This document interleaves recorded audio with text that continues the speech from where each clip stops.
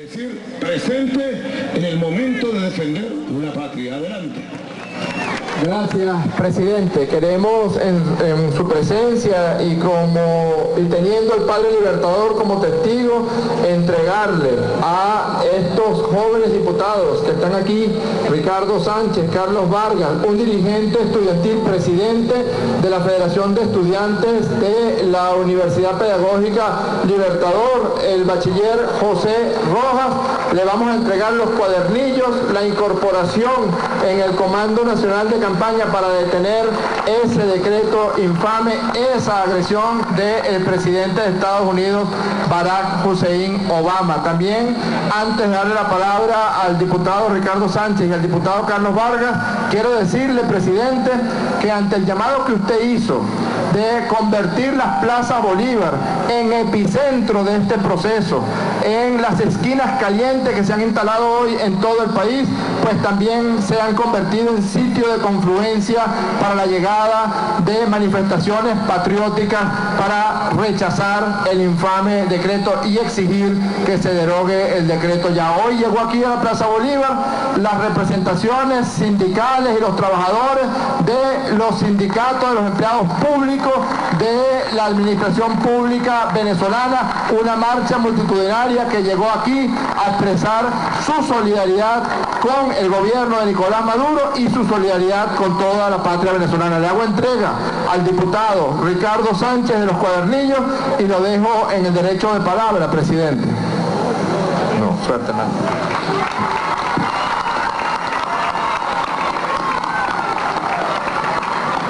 Sí, presidente, muy buenas tardes.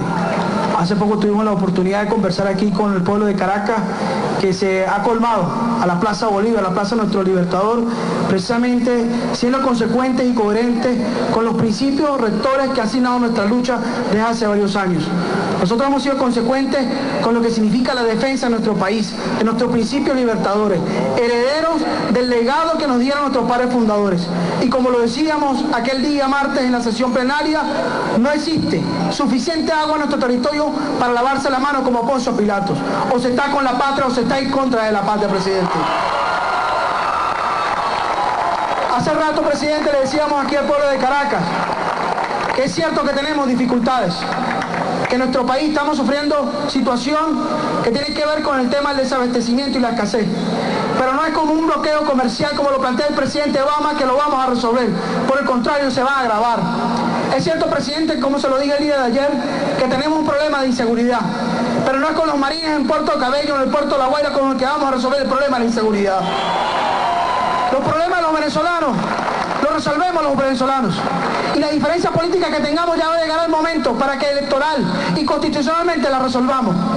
El día de hoy hacemos un llamado a todo el pueblo venezolano, que así como nosotros nos hemos sumado a este llamado que usted ha hecho, presidente, en términos de lo que significa la defensa de nuestra soberanía, la defensa de nuestra determinación. Ayer cuando anunciaron nuestra organización política Alianza para el Cambio, damos el debate, la discusión sobre este tema, recordábamos la crisis de Caldas de 1987. Una crisis que sumió al país en una situación de incertidumbre, de conmoción, y que todo el mundo, partidos de gobierno y partidos de oposición, actuaron con una sola voz.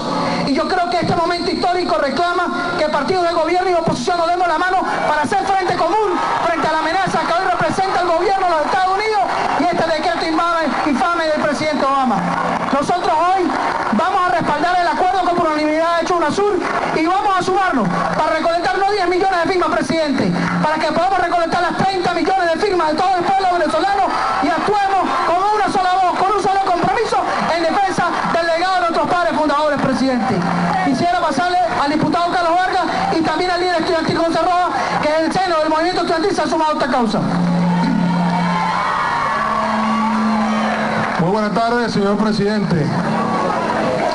En días pasados, señor presidente, veíamos cómo todo un Congreso, todo un gobierno, todo un Estado incluso se ponía de acuerdo para apoyar un decreto injerencista.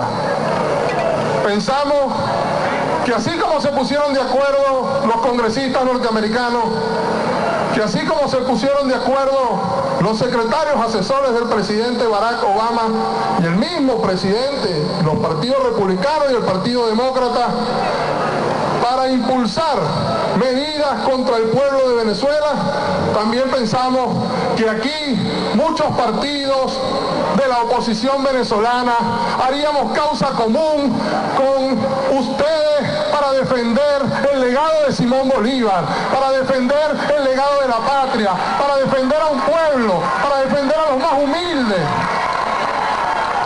Señor presidente, hoy somos nosotros los primeros que desde una posición responsable hemos venido a decirles que no cuenten con nosotros para ninguna invasión, que no cuenten con nosotros para traicionar el pueblo, que no cuenten con nosotros para ver a niños morir de hambre o para abrir las puertas al infierno injerencista. Señor presidente, recientemente conversábamos con amigos de Panamá y nos describían como horror cómo se vivió la invasión de Panamá, cómo más allá en Chorrillos más de 3.000, 4.000 muertos estaban lanzados en las orillas de la carretera, como el olor a sangre y a miseria rodaba. No, señor presidente, nosotros no queremos eso para Venezuela. Nosotros sabemos que están momentos difíciles, los estamos atravesando. Nosotros sabemos y hemos sido duros críticos de los errores que se han cometido. Pero también estamos dispuestos a acompañarlo en la reconstrucción del país que todos queremos. También estamos dispuestos a hacer causa común con ustedes, señor presidente, para rechazar cualquier injerencia de cualquier gobierno, no solo del gobierno de los Estados Unidos, sino de cualquier gobierno o de cualquier fuerza que pretenda por la vía de la sujeción o por la vía de la coerción intimidarnos.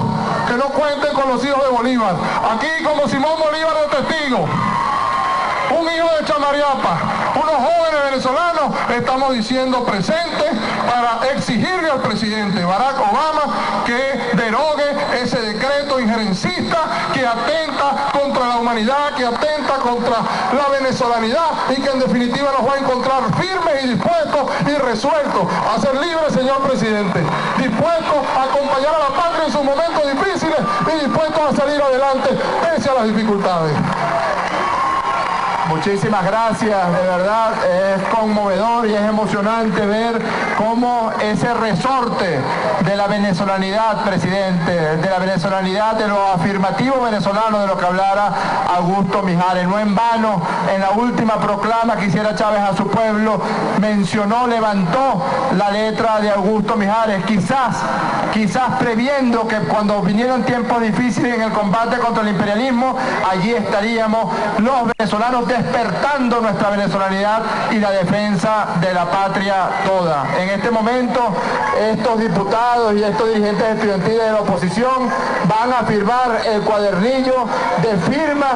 Vamos por los 10 millones de firmas, presidente Maduro. Son 10, son 10, son 10 millones, son 10 millones de firmas que estamos preparados para llevárselos al señor Barack Hussein Obama a Panamá o a donde se encuentre para que sepa que aquí hay patria, para que sepa que aquí hay dignidad, libertad e independencia. Adelante, señor presidente.